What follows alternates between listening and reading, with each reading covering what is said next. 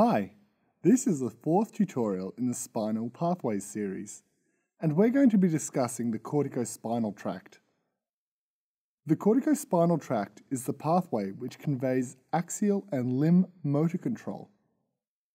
In plain English, this is the pathway that lets the brain control the movement of muscles.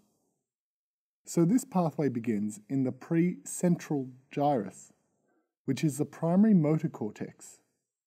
Just to clarify, the last two pathways we discussed, the dorsal column medial lemniscus and the spinothalamic tract, projected onto the postcentral gyrus. This pathway, however, arises from the precentral gyrus.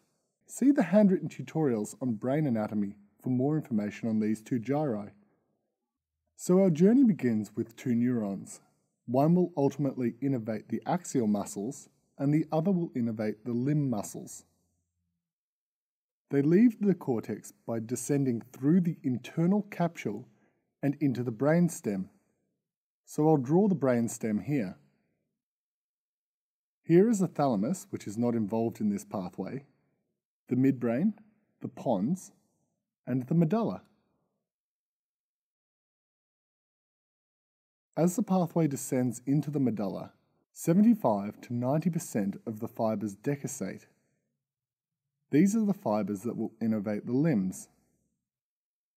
The axial fibres don't decussate here. This decussation is one of the biggest decussations, so it's worth looking at it further. If we take a cross section through the medulla here, we will see something like this. The fibres cross to the other side of the medulla, and we call this the decussation of the pyramids. The pyramids are the corticospinal tracts as they run through the medulla. For this reason, the corticospinal tract is sometimes called the pyramidal tract. After leaving the brainstem, the fibres run down through the two corticospinal tracts that we saw in the first video in the series. These are the anterior corticospinal tract and the lateral corticospinal tract. When they get to their target level, the fibres of the anterior corticospinal tract finally decussate through the anterior white commissure before synapsing to a neuron in the anterior horn of the grey matter.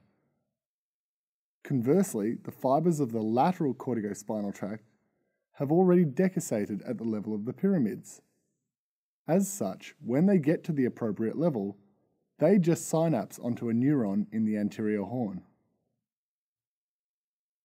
It's worth noting that the neurons in the cortex are known as upper motor neurons, and a lesion anywhere in these fibres from the cortex all the way down to the anterior horn are known as upper motor neuron lesions. This is very important clinically, but beyond the scope of this tutorial. These neurons in the anterior horn, which are intuitively called anterior horn cells, then project to the limb muscles and to the axial muscles. Again, I'll just point out that these neurons are known as lower motor neurons, and as such, a lesion anywhere between the anterior horn and the muscles would be known as a lower motor neuron lesion. So, in summary, the corticospinal tract is a two neuron pathway. There is an upper motor neuron, which arises in the cortex, and a lower motor neuron, which arises in the anterior horn.